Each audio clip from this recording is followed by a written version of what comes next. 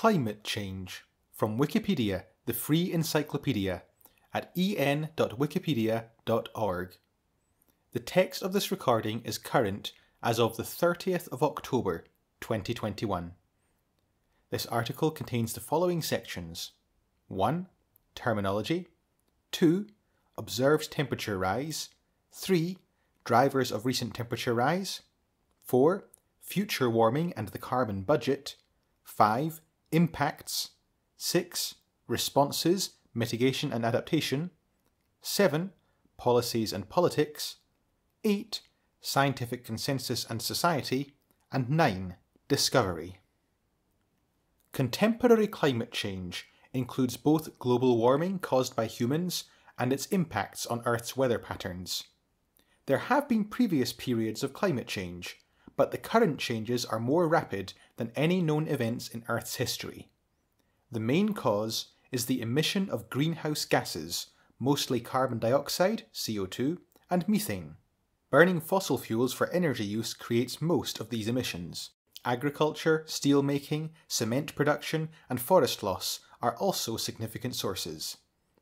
Temperature rise is affected by climate feedbacks as well, such as the loss of sunlight reflecting snow cover and the release of carbon dioxide from drought stricken forests.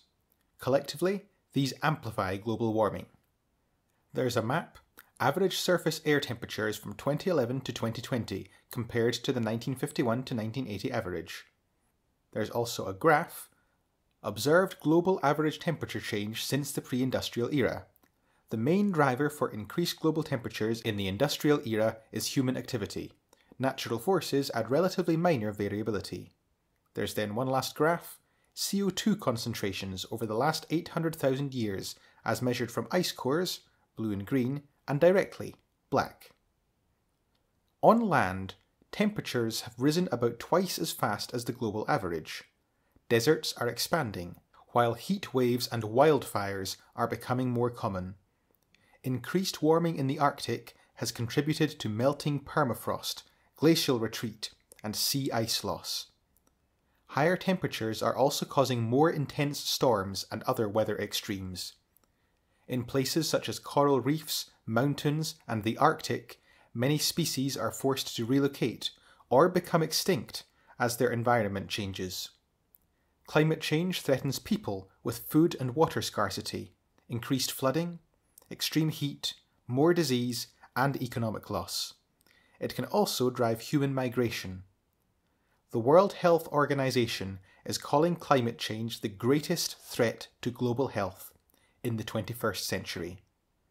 Even if efforts to minimize future warming are successful, some effects will continue for centuries. These include sea level rise, as well as warmer and more acidic oceans. Many of these impacts are already felt at the current level of warming, which is about 1.2 degrees Celsius, or 2.2 degrees Fahrenheit. The Intergovernmental Panel on Climate Change, IPCC, has projected significant increases in these impacts as warming continues to 1.5 degrees Celsius, 2.7 degrees Fahrenheit, and beyond. Additional warming increases the risk of triggering critical thresholds called tipping points. Responding to these impacts involves both mitigation and adaptation. Mitigation, limiting climate change, consists of reducing greenhouse gas emissions and removing them from the atmosphere. Methods to achieve this include the development and deployment of low carbon energy sources such as wind and solar, a phase out of coal, enhanced energy efficiency, and forest preservation. Adaptation consists of adjusting to actual or expected climate, such as through improved coastline protection, better disaster management, and the development of more resistant crops adaptation alone cannot avert the risk of severe, widespread, and irreversible impacts. Under the 2015 Paris Agreement, nations collectively agreed to keep warming well under 2 degrees Celsius through mitigation efforts. However, with pledges made under the agreement, global warming would still reach about 2.7 degrees Celsius by the end of the century. Limiting warming to 1.5 degrees Celsius would require halving emissions by 2030 and achieving net zero emissions by 2050. Section 1 Terminology. There's a diagram. Climate change is driven by rising greenhouse gas levels in the atmosphere. This strengthens the greenhouse effect, which traps heat in Earth's climate system. Before the 1980s, it was unclear whether warming by greenhouse gases would dominate aerosol induced cooling. Scientists then often used the term inadvertent climate modification to refer to the human impact on the climate. In the 1980s, the terms global warming and climate change were popularised. The former refers only to increased surface warming, the latter describes the full effect of greenhouse gases on the climate. Global warming became the most popular term after NASA climate scientist James Hansen used it in his 1988 testimony in the US Senate. In the 2000s, the term climate change increased in popularity. Global warming usually refers to human induced warming of the Earth system, whereas climate change can refer to natural as well as anthropogenic change. The two terms are often used interchangeably. Various scientists, politicians, and media figures have adopted the terms climate crisis or climate emergency to talk about climate change, and global heating instead of global warming.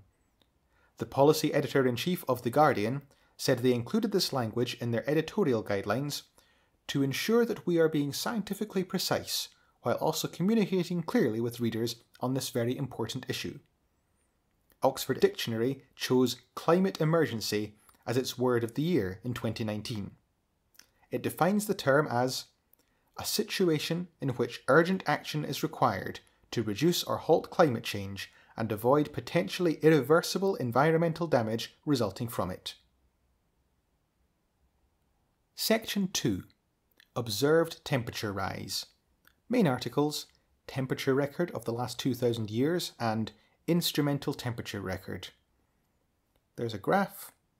Global surface temperature reconstruction over the last 2000 years using proxy data from tree rings, corals, and ice cores in blue. Directly observed data is in red. There's then another graph. Land surface temperatures have increased faster than ocean temperatures. Multiple independent instrumental datasets show that the climate system is warming. The 2011 to 2020 decade warmed 1.09 degrees Celsius, between 0.95 and 1.20 degrees Celsius, compared to the pre industrial baseline, 1850 to 1900. Surface temperatures are rising by about 0.2 degrees Celsius per decade, with 2020 reaching a temperature of 1.2 degrees Celsius above pre industrial. Since 1950, the number of cold days and nights has decreased, and the number of warm days and nights has increased. There was little net warming between the 18th century and the mid 19th century. Climate information for that period comes from climate proxies, such as trees and ice cores. They show that natural variations offset the early effects of the Industrial Revolution. Thermometer records began to provide global coverage around 1850. Historical patterns of warming and cooling, like the medieval climate anomaly and the Little Ice Age, did not occur at the same time across different regions. Temperatures may have reached as high as those of the late 20th century in a limited set of regions. There have been prehistorical episodes of global warming, such as the Paleocene Eocene thermal maximum. However, the modern observed rise in temperature and CO2 concentrations has been so rapid that even abrupt geophysical events in Earth's history do not approach current rates. Evidence of warming from air temperature measurements are reinforced with a wide range of other observations. There has been an increase in the frequency and intensity of heavy precipitation, melting of snow and land ice, and increased atmospheric humidity. Flora and fauna are also behaving in a manner consistent with warming. For instance, plants are flowering earlier in spring. Another key indicator is the cooling of the upper atmosphere, which demonstrates that greenhouse gases are trapping heat near the Earth's surface and preventing it from radiating into space. Regions warm at various rates. The pattern is independent of where greenhouse gases are emitted, because the gases persist long enough to diffuse across the planet. Since the pre industrial period, global average land temperatures have increased almost twice as fast as global average surface temperatures. This is because of the larger heat capacity of oceans, and because oceans lose more heat by evaporation. Over 90% of the extra energy in the climate system over the last 50 years has been stored in the ocean. The rest has heated the atmosphere, melted ice, and warmed the continents. The Northern Hemisphere and the North Pole have warmed much faster than the South Pole and Southern Hemisphere. The Northern Hemisphere not only has much more land, but also more seasonal snow cover and sea ice. As these surfaces flip from reflecting a lot of light to being dark after the ice has melted, they start absorbing more heat. Local black carbon deposits on snow and ice also contribute to Arctic warming. Arctic temperatures are increasing at over twice the rate of the rest of the world. Melting of glaciers and ice sheets in the Arctic disrupts ocean circulation, including a weakened Gulf Stream, further changing the climate. Section 3 Drivers of recent temperature rise. Main article Attribution of recent climate change.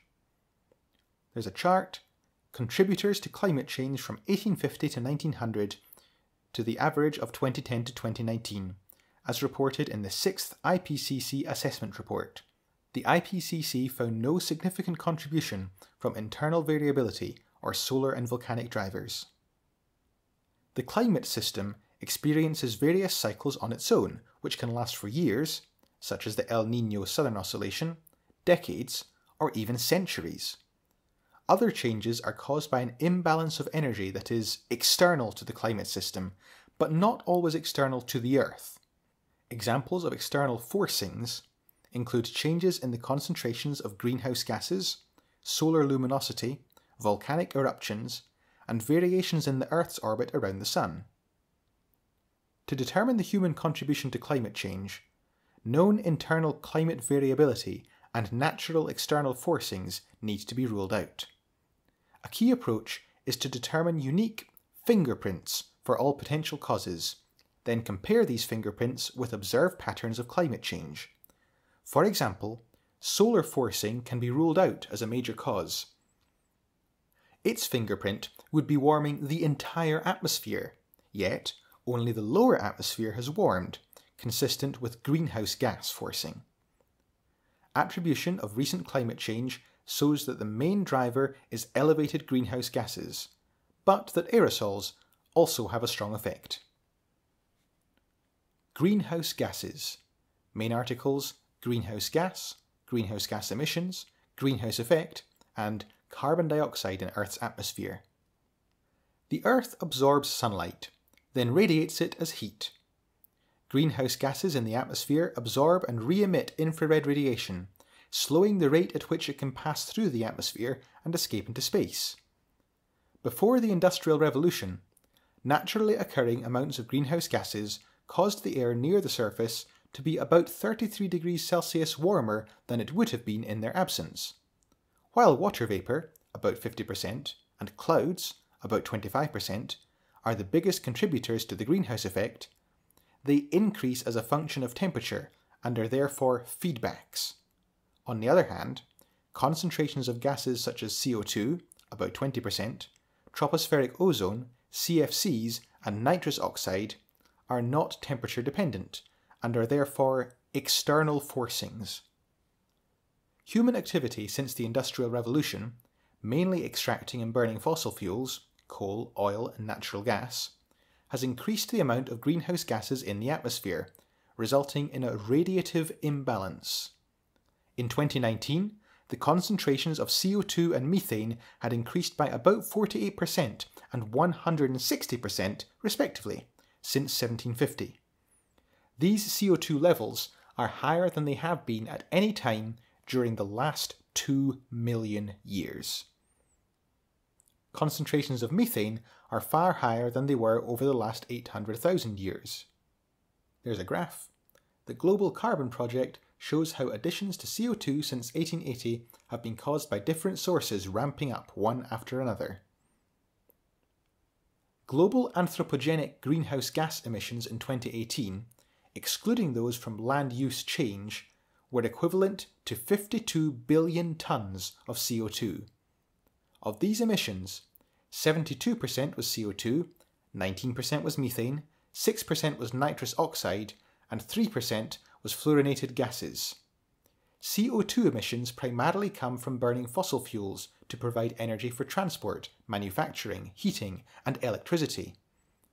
Additional CO2 emissions come from deforestation and industrial processes, which include the CO2 released by the chemical reactions for making cement, steel, aluminium, and fertilizer.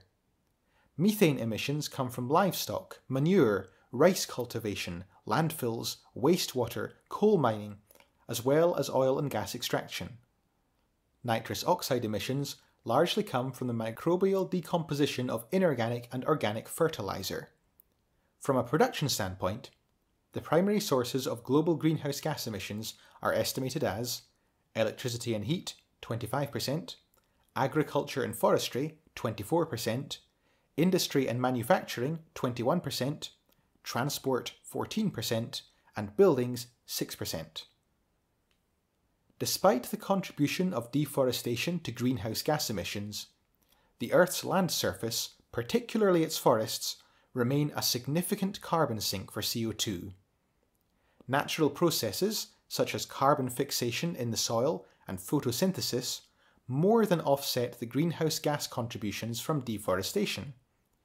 The land surface sink is estimated to remove about 29% of annual global CO2 emissions.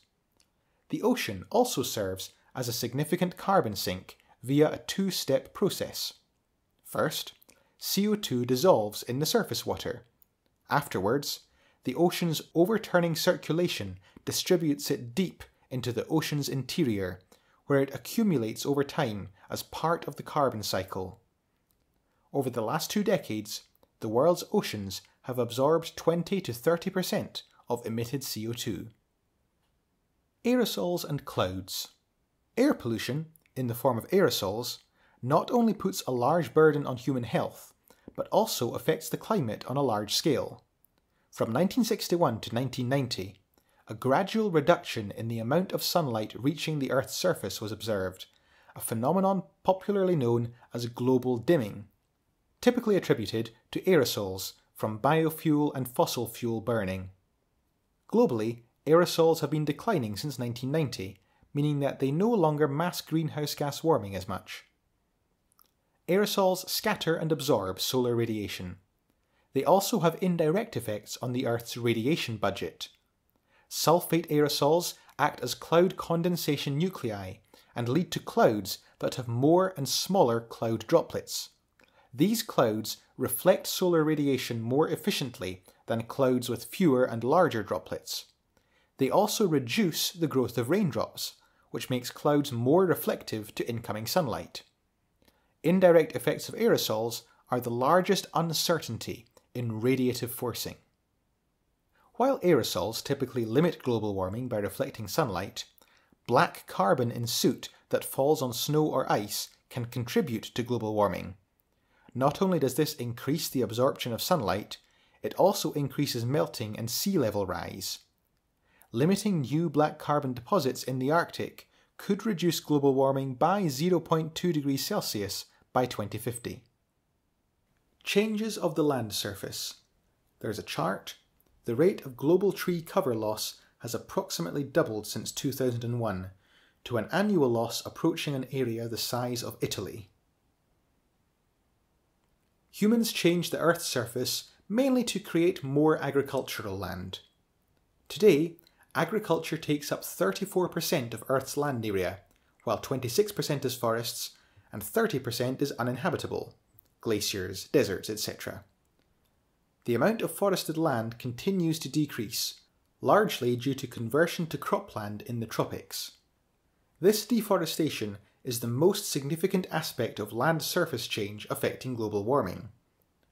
The main causes of deforestation are permanent land use change from forest to agricultural land producing products such as beef and palm oil, 27%, logging to produce forestry or forest products, 26%, short term shifting cultivation, 24%, and wildfires, 23%. land use changes not only affect greenhouse gas emissions, the type of vegetation in a region affects the local temperature. It impacts how much of the sunlight gets reflected back into space, albedo, and how much heat is lost by evaporation.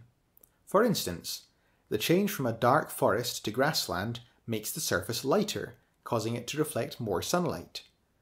Deforestation can also affect temperatures by modifying the release of chemical compounds that influence clouds, and by changing wind patterns.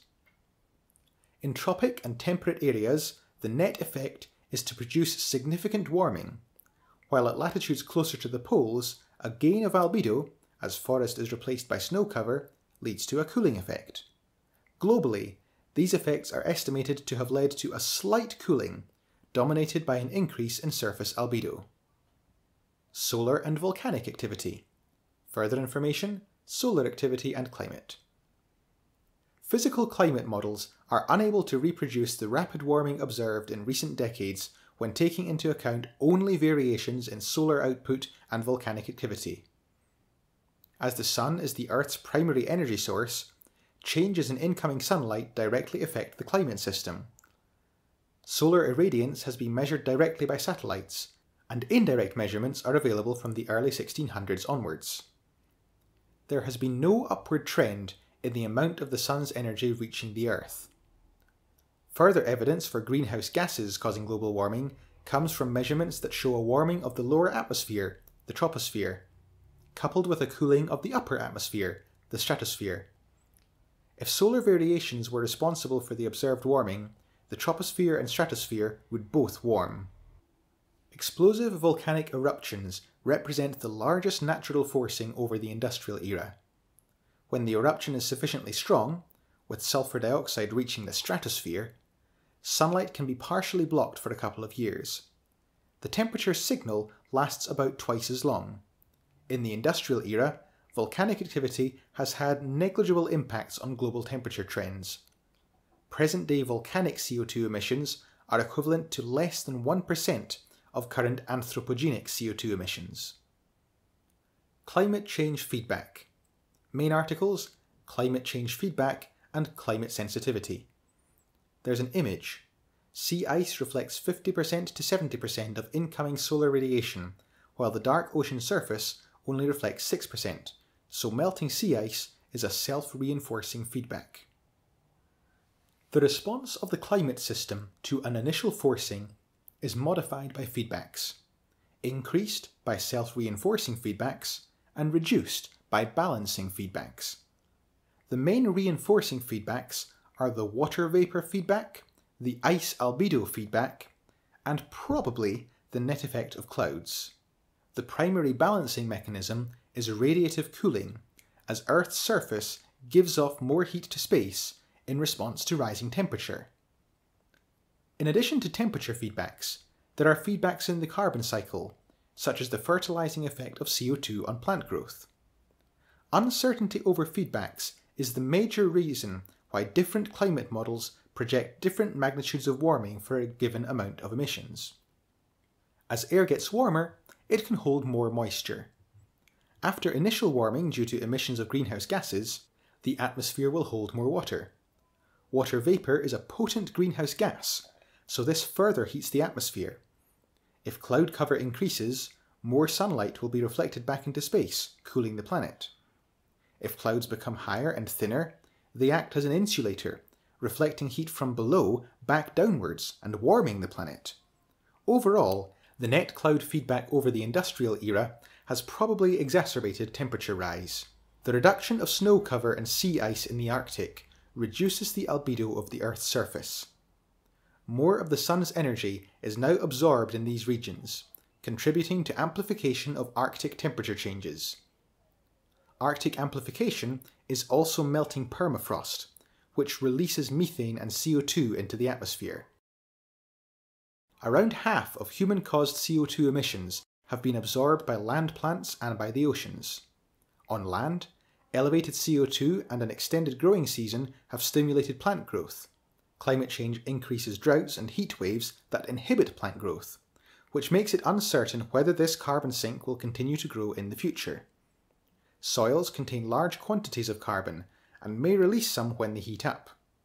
As more CO2 and heat are absorbed by the ocean, it acidifies, its circulation changes, and phytoplankton take up less carbon, decreasing the rate at which the ocean absorbs atmospheric carbon. Climate change can increase methane emissions from wetlands, marine and freshwater systems, and permafrost. Section 4 Future Warming and the Carbon Budget. Further information in the articles Carbon Budget, Climate Model, and Carbon Cycle. There's a pair of maps warming distribution at 1.5 degrees Celsius, 2.7 degrees Fahrenheit average, and warming distribution at 4.0 degrees Celsius, 7.2 degrees Fahrenheit. Projected global surface temperature changes relative to 1850 to 1900 based on CMIP6 multi-model mean changes. Future warming depends on the strengths of climate feedbacks and on emissions of greenhouse gases. The former are often estimated using climate models developed by multiple scientific institutions. A climate model is a representation of the physical, chemical, and biological processes that affect the climate system. Models include changes in the Earth's orbit, historical changes in the Sun's activity, and volcanic forcing. Computer models attempt to reproduce and predict the circulation of the oceans, the annual cycle of the seasons, and the flows of carbon between the land surface and the atmosphere. Models project different future temperature rises for given emissions of greenhouse gases. They do not fully agree on the strength of different feedbacks on climate sensitivity and magnitude of inertia of the climate system. The physical realism of models is tested by examining their ability to simulate contemporary or past climates. Past models have underestimated the rate of Arctic shrinkage and underestimated the rate of precipitation increase.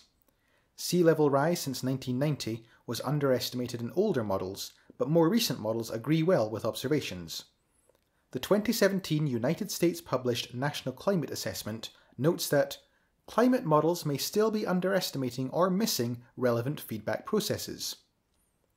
A subset of climate models adds societal factors to a simple physical climate model. These models simulate how population, economic growth, and energy use affect and interact with the physical climate. With this information, these models can produce scenarios of future greenhouse gas emissions. This is then used as input for physical climate models to generate climate change projections.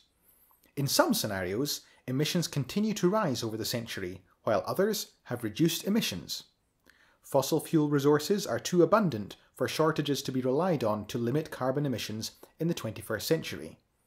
Emissions scenarios can be combined with modelling of the carbon cycle to predict how atmospheric concentrations of greenhouse gases might change in the future.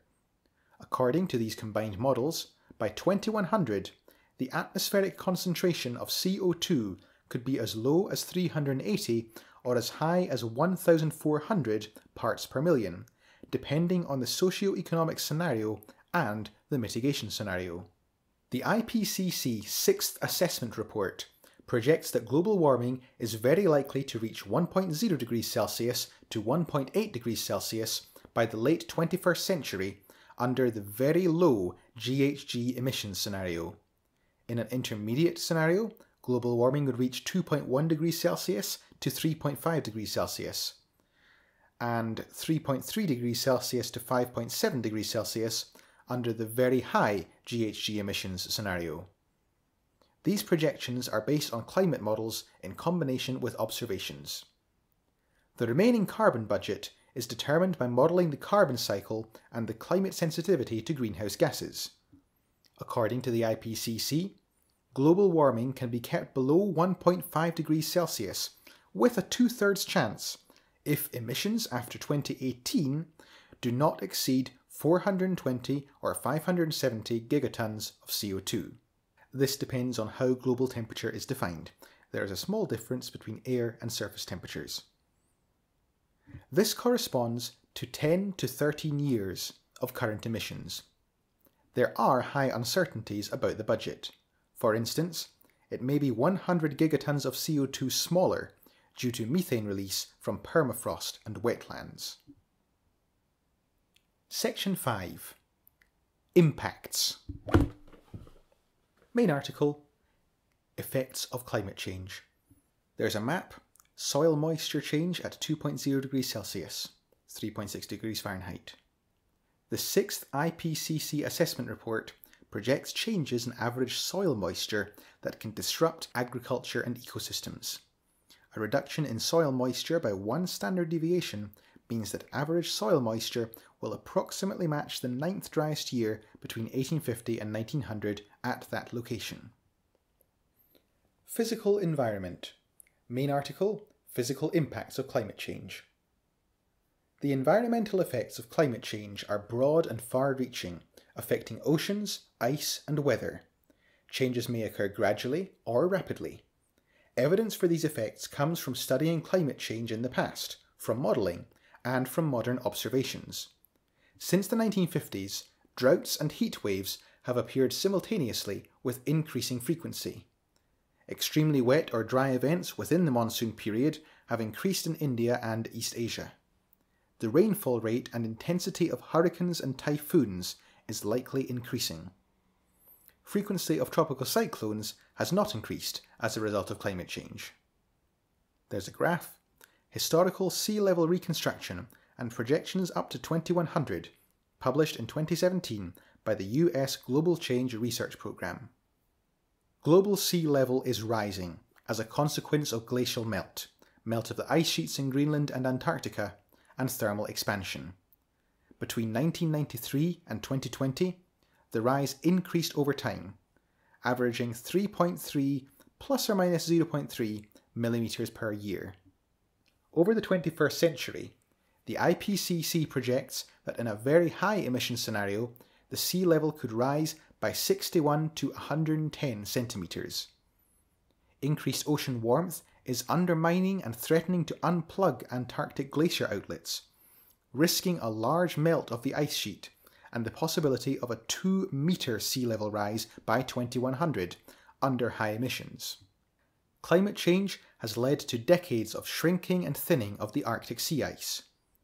While ice free summers are expected to be rare at 1.5 degrees Celsius of warming, they are set to occur once every 3 to 10 years at a warming level of 2 degrees Celsius. Higher atmospheric CO2 concentrations have led to changes in ocean chemistry. An increase in dissolved CO2 is causing oceans to acidify. In addition, oxygen levels are decreasing as oxygen is less soluble in warmer water. Dead zones in the ocean, regions with very little oxygen are expanding too.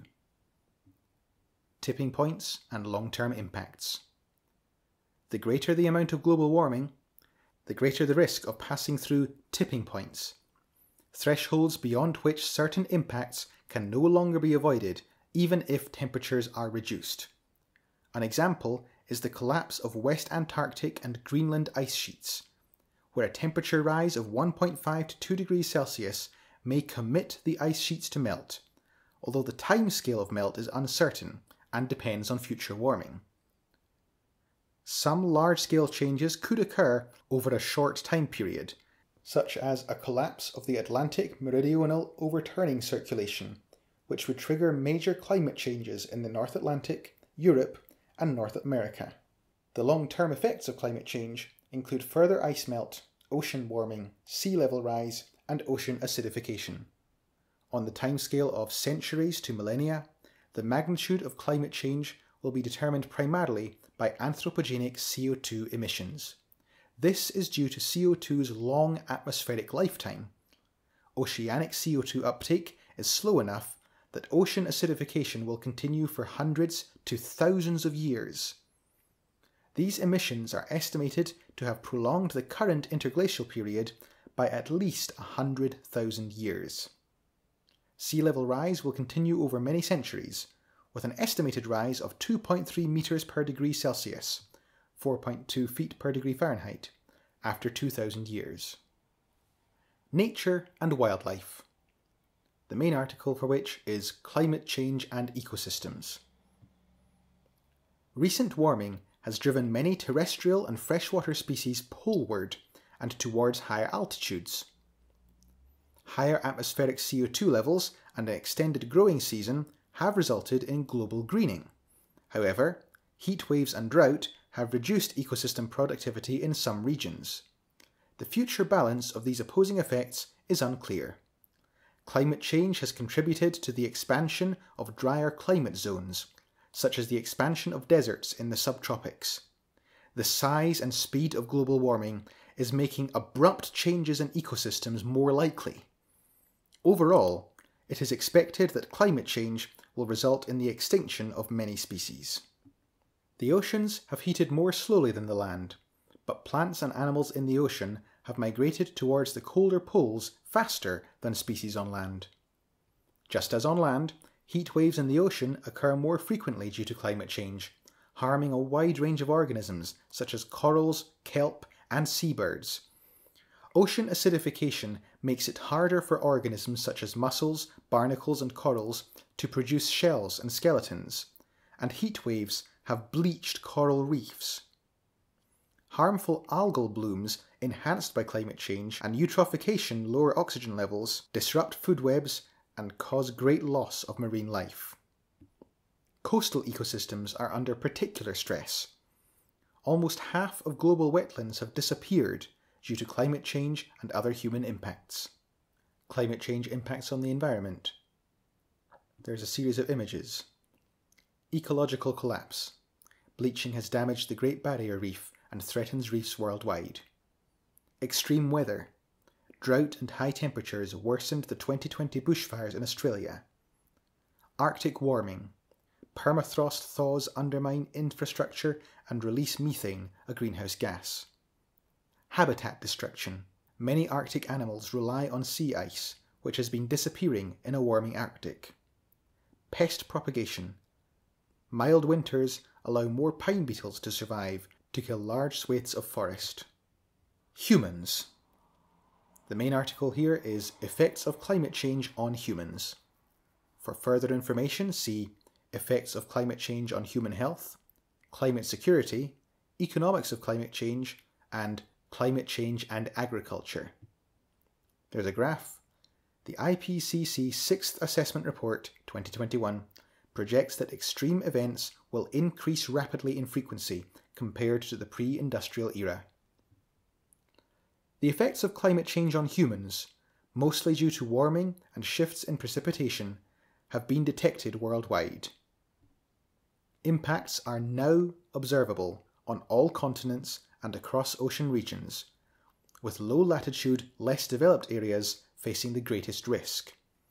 Continued warming has potentially severe, pervasive, and irreversible impacts for people and ecosystems. The risks are unevenly distributed, but are generally greater for disadvantaged people in developing and developed countries. Food and health. Health impacts include both the direct effects of extreme weather, leading to injury and loss of life, as well as indirect effects, such as undernutrition brought on by crop failures.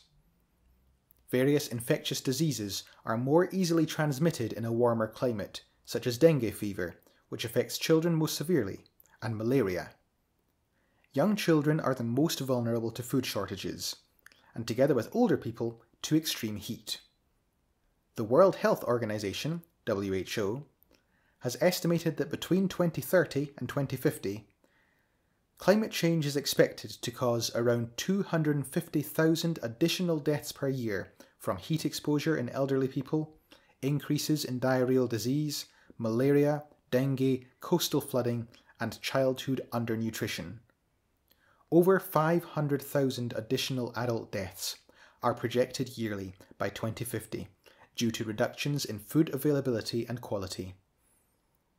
Other major health risks associated with climate change include air and water quality. The WHO has classified human impacts from climate change as the greatest threat to global health in the 21st century. Climate change is affecting food security. It has caused reduction in global mean yields of maize, wheat, and soybeans between 1981 and 2010. Further warming could further reduce global yields of major crops. Crop production will probably be negatively affected in low latitude countries, while effects at northern latitudes may be positive or negative. up to an additional 183 million people worldwide, particularly those with lower incomes, are at risk of hunger as a consequence of these impacts. The effects of warming on the oceans impact fish stocks, with a global decline in the maximum catch potential. Only polar stocks are showing an increased potential. Regions dependent on glacier water, regions that are already dry, and small islands are at increased risk of water stress due to climate change. Livelihoods. Economic damages due to climate change may be severe, and there is a probability of disastrous tail risk events. Climate change has likely already increased global economic inequality, and this trend is projected to continue. Most of the severe impacts are expected in sub Saharan Africa and Southeast Asia, where existing poverty is already exacerbated. The World Bank estimates that climate change could drive over 120 million people into poverty by 2030. Current inequalities between men and women, between rich and poor, and between different ethnicities have been observed to worsen as a consequence of climate variability and climate change. An expert elicitation concluded that the role of climate change in armed conflict has been small compared to factors such as socio-economic inequality and state capabilities, but that future warming will bring increasing risks. Low-lying islands and coastal communities are threatened through hazards posed by sea level rise, such as flooding and permanent submergence. This could lead to statelessness for populations in island nations such as the Maldives and Tuvalu. In some regions, rise in temperature and humidity may be too severe for humans to adapt to. With worst case climate change, models project that almost one third of humanity might live in extremely hot and uninhabitable climates, similar to the current climate found in the Sahara. These factors plus weather extremes can drive environmental migration both within and between countries. Displacement of people is expected to increase as a consequence of more frequent extreme weather, sea level rise, and conflict arising from increased competition over natural resources. Climate change may also increase vulnerability, leading to trapped populations who are not able to move due to a lack of resources. Climate change impacts on people. There's a series of images. Environmental migration. Sparser rainfall leads to desertification that harms agriculture and can displace populations. Shown, Teli in Mali. Agricultural changes. Droughts, rising temperatures, and extreme weather negatively impact agriculture. Shown is Texas in the USA. Tidal flooding. Sea level rise increases flooding in low-lying coastal regions. Shown is Venice in Italy. Storm intensification. Bangladesh after Cyclone Sidr is an example of catastrophic flooding from increased rainfall. Heat wave intensification. Events like the June 2019 European heatwave are becoming more common. Section 6 Responses Mitigation and Adaptation. Mitigation, for which the main article is Climate Change Mitigation. There's a graph. Scenarios of global greenhouse gas emissions. If all countries achieve their current Paris Agreement pledges, average warming by 2100 would still significantly exceed the maximum 2 degrees Celsius target set by the agreement. Climate change can be mitigated by reducing greenhouse gas emissions and by enhancing sinks that absorb greenhouse gases from the atmosphere. In order to limit global warming to less than 1.5 degrees Celsius with a high likelihood of success, global greenhouse gas emissions need to be net zero by 2050, or by 2070 with a 2 degrees Celsius target. This requires far reaching systemic changes on an unprecedented scale in energy, land, cities, transport, buildings, and industry. The United Nations Environment Programme estimates that countries need to triple their pledges under the Paris Agreement within the next decade to limit global warming to 2 degrees Celsius. An even greater level of reduction is required to meet the 1.5 degrees Celsius goal. With pledges made under the agreement as of October 2021, global warming would still have a 66% chance of reaching about 2.7 degrees Celsius, the range is 2.2 to 3.2 degrees Celsius, by the end of the century.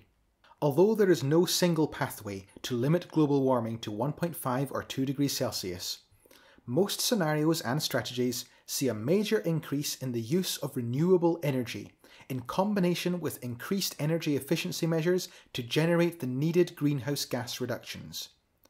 To reduce pressures on ecosystems and enhance their carbon sequestration capabilities, changes would also be necessary in agriculture and forestry, such as restoring natural ecosystems by reforestation.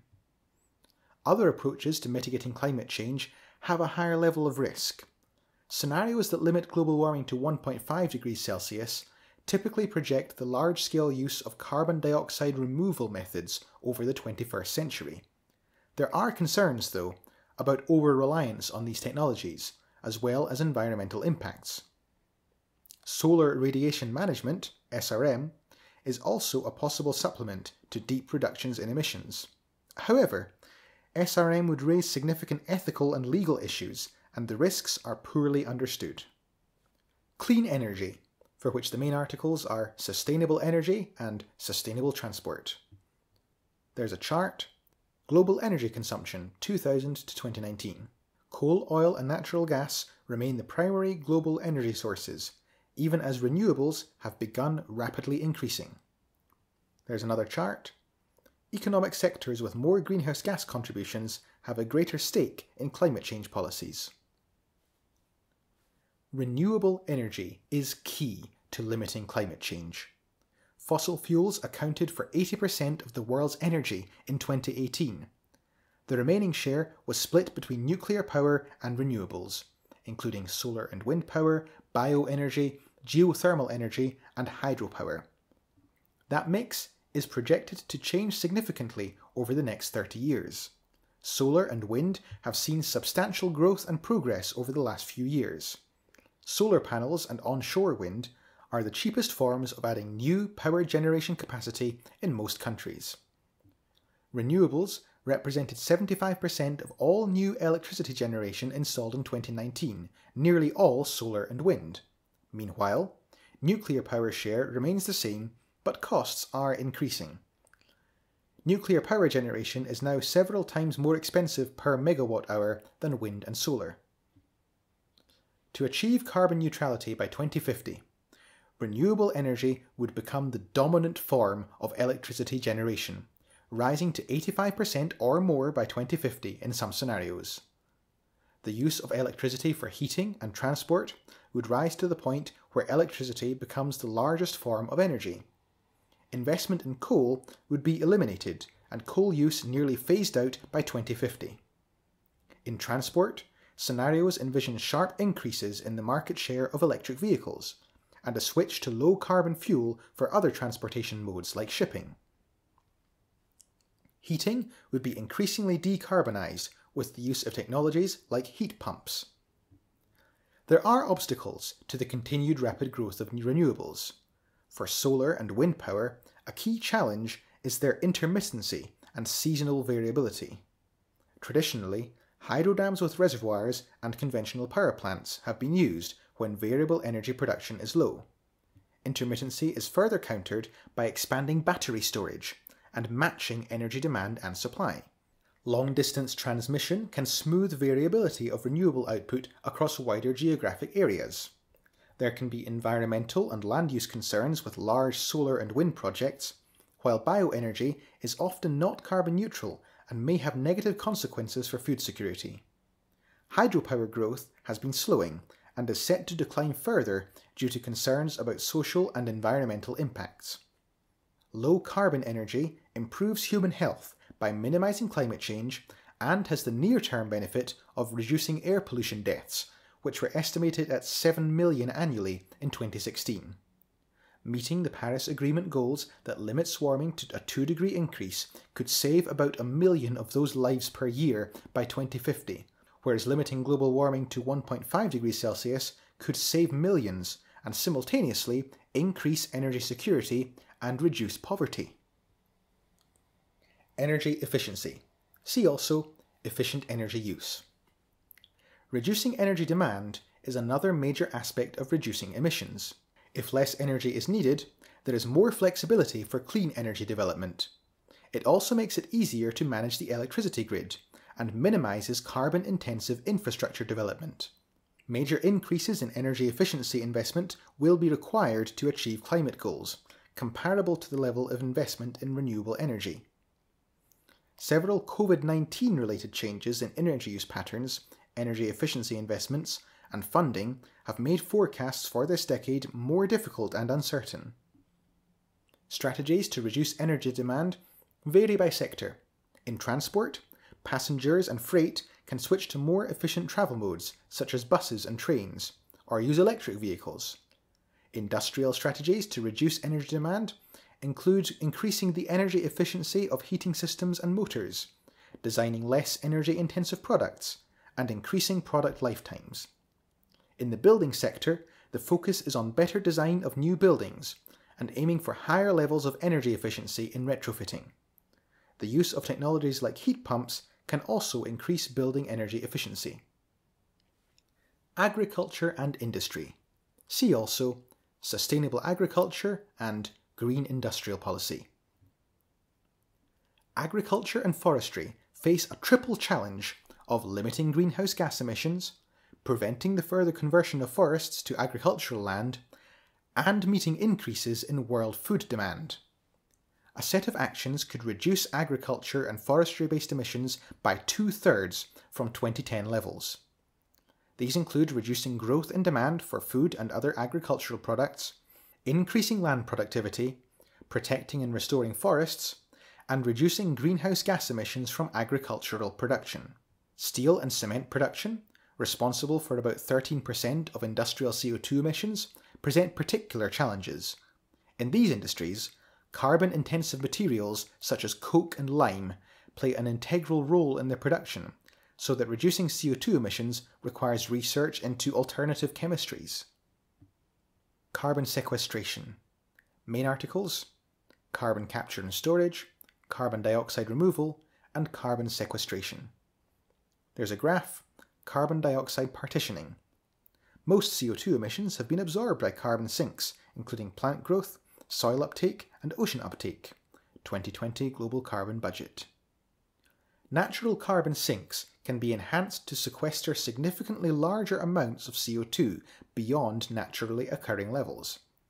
Reforestation and tree planting on non forest lands are among the most mature sequestration techniques, although the latter raises food security concerns. Soil carbon sequestration and coastal carbon sequestration are less understood options. The feasibility of land based negative emissions methods for mitigation are uncertain. The IPCC has described mitigation strategies based on them as risky. Where energy production or CO2 intensive heavy industries continue to produce waste CO2, the gas can be captured and stored instead of released to the atmosphere. Although its current use is limited in scale and expensive, carbon capture and storage CCS may be able to play a significant role in limiting CO2 emissions by mid century. This technique, in combination with bioenergy BECCS, can result in net negative emissions. CO2 is drawn from the atmosphere. It remains highly uncertain whether carbon dioxide removal techniques, such as BECCS, will be able to play a large role in limiting warming to 1.5 degrees Celsius. Policy decisions that rely on carbon dioxide removal increase the risk of global warming rising beyond international goals. Adaptation, for which the main article is Climate Change Adaptation. Adaptation is the process of adjustment to current or expected changes in climate and its effects. Without additional mitigation, adaptation cannot avert the risk of severe, widespread, and irreversible impacts. More severe climate change requires more transformative adaptation, which can be prohibitively expensive. The capacity and potential for humans to adapt is unevenly distributed across different regions and populations, and developing countries generally have less. The first two decades of the 21st century saw an increase in adaptive capacity in most low and middle income countries with improved access to basic sanitation and electricity, but progress is slow. Many countries have implemented adaptation policies, However, there is a considerable gap between necessary and available finance. Adaptation to sea level rise consists of avoiding at risk areas, learning to live with increased flooding, and protection. If that fails, managed retreat may be needed. There are economic barriers for tackling dangerous heat impact. Avoiding strenuous work or having air conditioning is not possible for everybody. In agriculture, adaptation options include a switch to more sustainable diets, diversification, erosion control, and genetic improvements for increased tolerance to a changing climate. Insurance allows for risk sharing, but is often difficult to get for people on lower incomes. Education, migration, and early warning systems can reduce climate vulnerability. Ecosystems adapt to climate change, a process that can be supported by human intervention. By increasing connectivity between ecosystems, species can migrate to more favourable climate conditions. Species can be directly moved as well. Protection and restoration of natural and semi-natural areas helps build resilience, making it easier for ecosystems to adapt. Many of the actions that promote adaptation in ecosystems also help humans adapt via ecosystem-based adaptation. For instance, restoration of natural fire regimes makes catastrophic fires less likely and reduces human exposure. Giving rivers more space allows for more water storage in the natural system, reducing flood risk. Restored forest acts as a carbon sink, but planting trees in unsuitable regions can exacerbate climate impacts. There are synergies and trade offs between adaptation and mitigation. Adaptation often offers short term benefits, whereas mitigation has longer term benefits. Increased use of air conditioning allows people to better cope with heat, but increases energy demand. Compact urban development may lead to reduced emissions from transport and construction. At the same time, it may increase the urban heat island effect, leading to higher temperatures and increased exposure. Increased food productivity has large benefits for both adaptation and mitigation. Section 7 Policies and Politics. The main article is Politics of Climate Change. There's a map the Climate Change Performance Index ranks countries by greenhouse gas emissions, 40% of score, renewable energy, 20%, energy use, 20%, and climate policy, 20%. Countries that are most vulnerable to climate change have typically been responsible for a small share of global emissions. This raises questions about justice and fairness.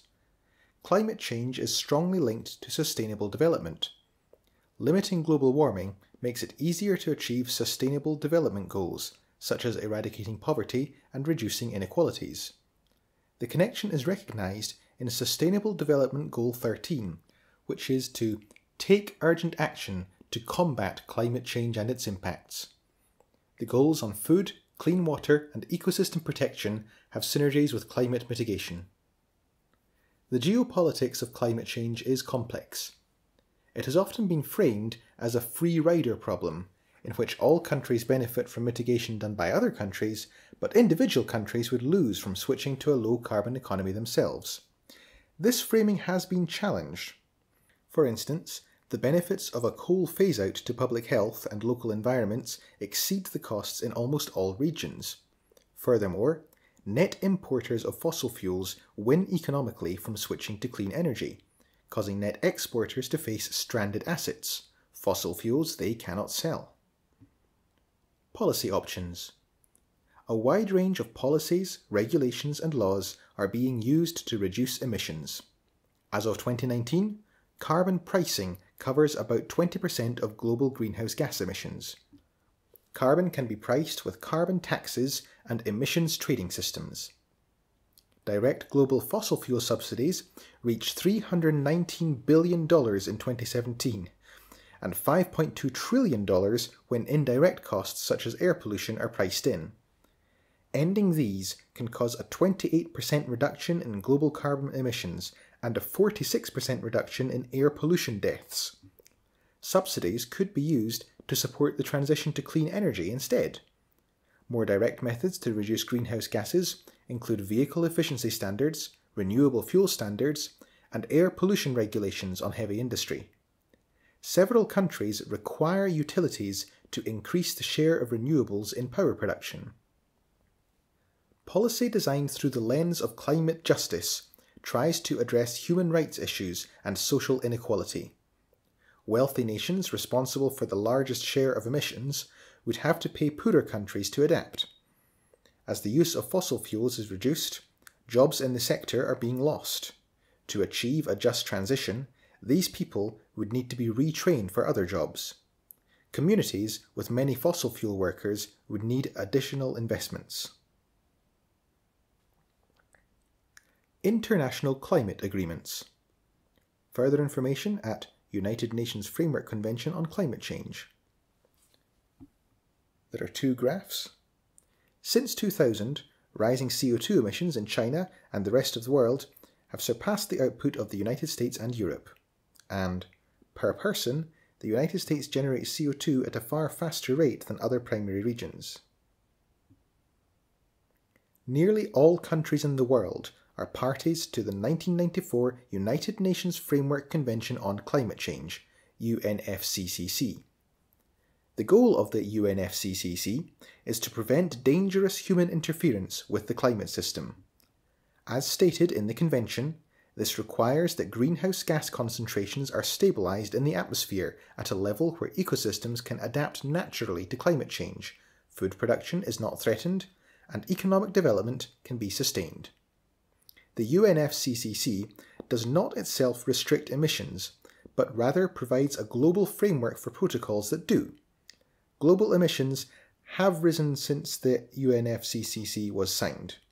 Its yearly conferences are the stage of global negotiations.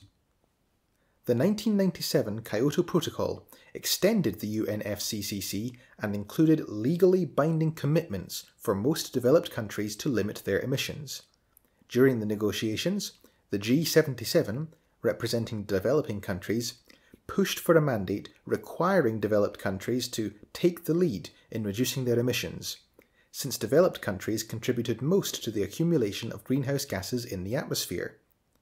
Per capita emissions were also still relatively low in developing countries, and developing countries would need to emit more to meet their development needs. The 2009 Copenhagen Accord has been widely portrayed as disappointing because of its low goals, and was rejected by poorer nations including the G77. Associated parties aimed to limit the global temperature rise to below 2 degrees Celsius.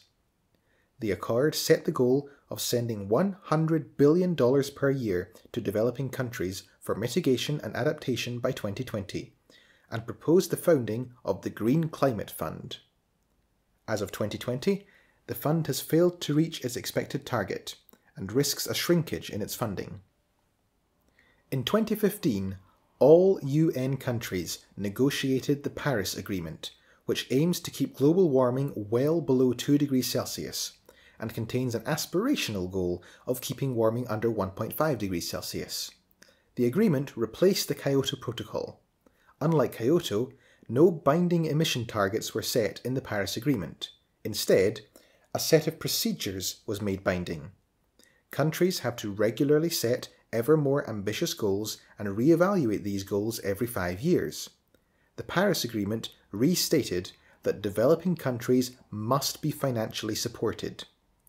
As of October 2021, 194 states and the European Union have signed the treaty, and 191 states and the EU have ratified or acceded to the agreement. The 1987 Montreal Protocol, an international agreement to stop emitting ozone depleting gases, may have been more effective at curbing greenhouse gas emissions than the Kyoto Protocol specifically designed to do so. The 2016 Kigali Amendment to the Montreal Protocol aims to reduce the emission of hydrofluorocarbons, a group of powerful greenhouse gases which served as a replacement for banned ozone depleting gases. This made the Montreal Protocol a stronger agreement against climate change. National responses. In 2019, the United Kingdom Parliament became the first national government to declare a climate emergency. Other countries and jurisdictions followed suit. That same year, the European Parliament declared a climate and environmental emergency. The European Commission presented its European Green Deal with the goal of making the EU carbon neutral by 2050. Major countries in Asia have made similar pledges. South Korea and Japan have committed to become carbon neutral by 2050 and China by 2060. In 2021, the European Commission released its Fit for 55 legislation package, which contains guidelines for the car industry. All new cars on the European market must be zero emission vehicles from 2035. While India has strong incentives for renewables, it also plans a significant expansion of coal in the country. As of 2021, based on information from 48 national climate plans, which represent 40% of the parties to the Paris Agreement, estimated total greenhouse gas emissions will be 0.5% lower compared to 2010 levels, below the 45 or 25% reduction goals to limit global warming to 1.5 degrees Celsius or 2 degrees Celsius, respectively. Section 8 Scientific Consensus and Society.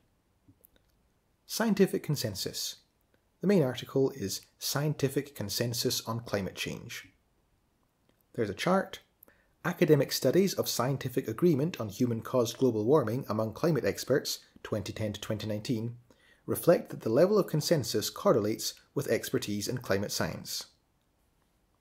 There is a near complete scientific consensus that the climate is warming and this is caused by human activities. Agreement in recent literature reached over 99%.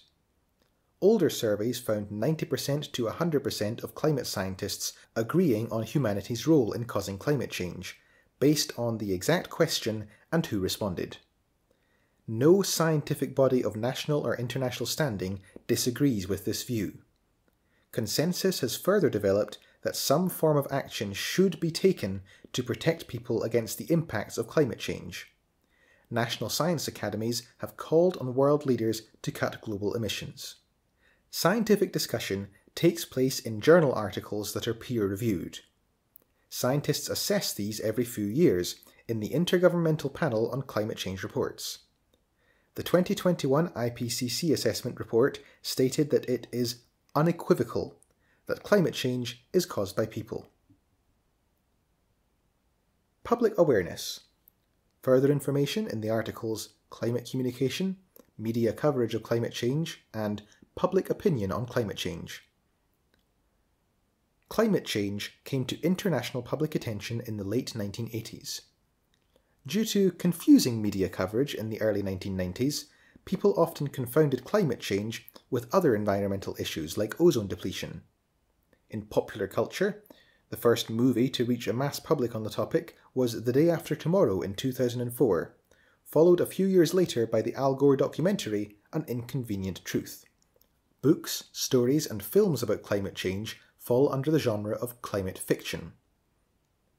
Significant regional, gender, age, and political differences exist in both public concern for and understanding of climate change. More highly educated people, and in some countries, women and younger people, were more likely to see climate change as a serious threat. Partisan gaps also exist in many countries, and countries with high CO2 emissions tend to be less concerned. Views on causes of climate change vary widely between countries. Concern has increased over time to the point where a majority of citizens in many countries now express a high level of worry about climate change or view it as a global emergency. Higher levels of worry are associated with stronger public support for policies that address climate change. Denial and misinformation. Further information in the Fossil Fuels Lobby, Climate Change Denial, and Global Warming Conspiracy Theory articles. There's an image.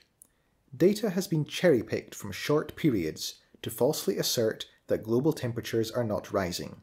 Blue trend lines show short periods that mask longer term warming trends, red trend lines. Blue dots show the so called global warming hiatus. Public debate about climate change has been strongly affected by climate change denial and misinformation, which originated in the United States and has since spread to other countries, particularly Canada and Australia. The actors behind climate change denial form a well funded and relatively coordinated coalition of fossil fuel companies, industry groups, conservative think tanks, and contrarian scientists. Like the tobacco industry before, the main strategy of these groups has been to manufacture doubt about scientific data and results. Many who deny, dismiss, or hold unwarranted doubt about the scientific consensus on anthropogenic climate change are labelled as climate change skeptics, which several scientists have noted is a misnomer. There are different variants of climate denial. Some deny that warming takes place at all, some acknowledge warming but attribute it to natural influences, and some minimize the negative impacts of climate change. Manufacturing uncertainty about the science later developed into a manufactured controversy, creating the belief that there is significant uncertainty about climate change within the scientific community in order to delay policy changes. Strategies to promote these ideas include criticism of scientific institutions and questioning the motives of individual scientists. An echo chamber of climate denying blogs and media has further fermented misunderstanding of climate change. Protests and lawsuits. Main articles Climate movement and climate change litigation. There's an image Canadian residents protesting against global warming. Climate protests have risen in popularity in the 2010s. These protests demand that political leaders take action to prevent climate change. They can take the form of public demonstrations, fossil fuel divestment, lawsuits, and other activities. Prominent demonstrations include the School Strike for Climate. In this initiative, young people across the globe have been protesting since 2018 by skipping school on Fridays, inspired by Swedish teenager Greta Thunberg. Mass civil disobedience actions by groups like Extinction Rebellion have protested by disrupting roads and public transport. Litigation is increasingly used as a tool to strengthen climate action from public institutions and companies.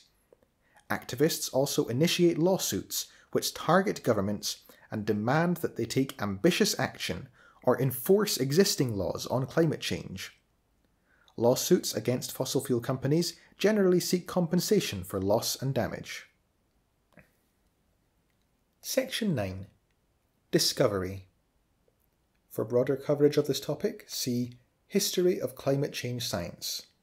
There's an image Tyndall's ratio spectrophotometer, drawing from 1861, measured how much infrared radiation was absorbed and emitted by various gases filling its central tube.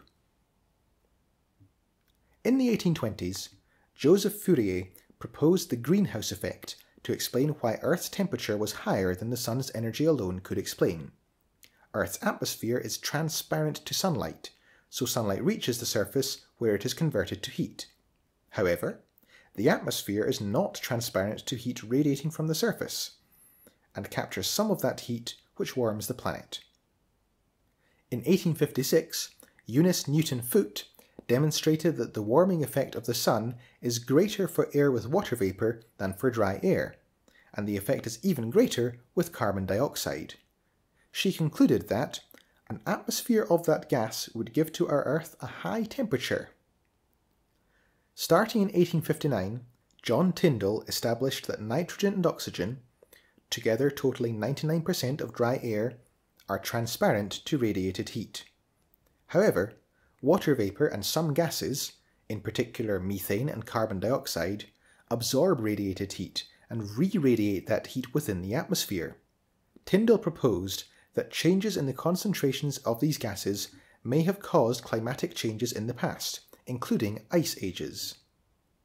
Svante Arrhenius noted that water vapour in air continuously varied, but the CO2 concentration in air was influenced by long term geological processes. At the end of an ice age, warming from increased CO2 levels would increase the amount of water vapour, amplifying warming in a feedback loop. In 1896, he published the first climate model of its kind, showing that halving of CO2 levels could have produced the drop in temperature initiating the ice age. Arrhenius calculated the temperature increase expected from doubling CO2 to be around 5 to 6 degrees Celsius. Other scientists were initially skeptical and believed the greenhouse effect to be saturated so that adding more CO2 would make no difference.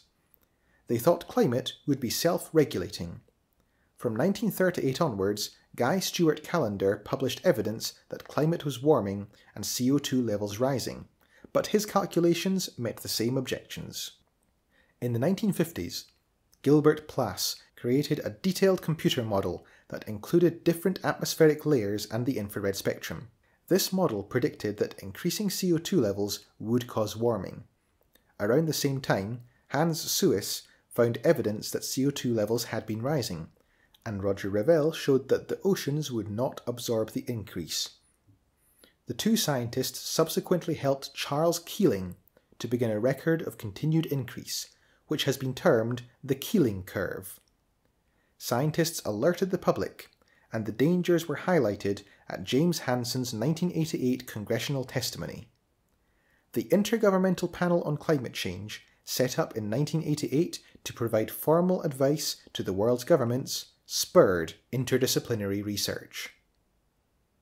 This sound file and all text in the article are licensed under the Creative Commons Attribution Share Alike 3.0 Unported License, available at creativecommons.org slash licenses slash by hyphen sa slash 3.0.